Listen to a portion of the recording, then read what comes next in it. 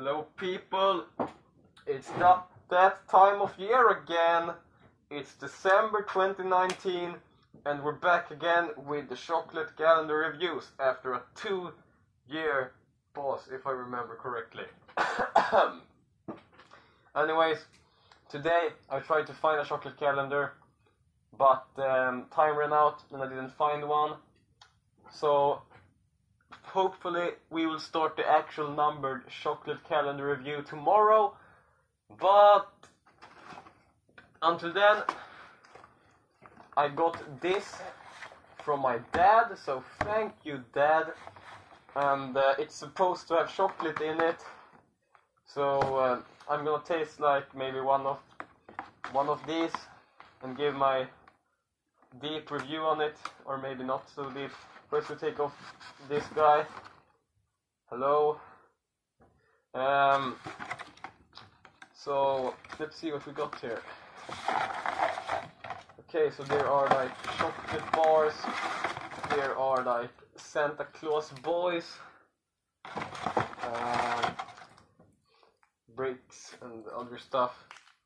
Anyway, I'm thinking. Yeah, there are also like uh, balls. Anyways, because there are so many, I think until they run out, I'm going to keep eating them together with the other chocolate from the calendar. And in case I don't like find the calendar in time. Anyways, today we start with this one. It says Nougat Cream Crisp. And um, that sounds nice, so let's go. Okay, so the top here has a bit of a round shape, which is cute. Okay, it broke very easily.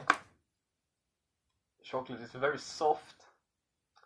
And it has like, uh, I think, like crispy balls in there. So I'm taking, I'm taking it.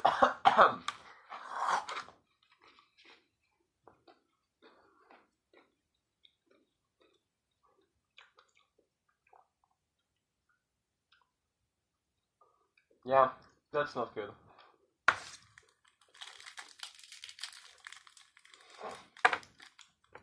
as you saw just there, the bits fucking fall off from it. It has. It's just a weak piece of shit. So I'm trying another bit just to be sure.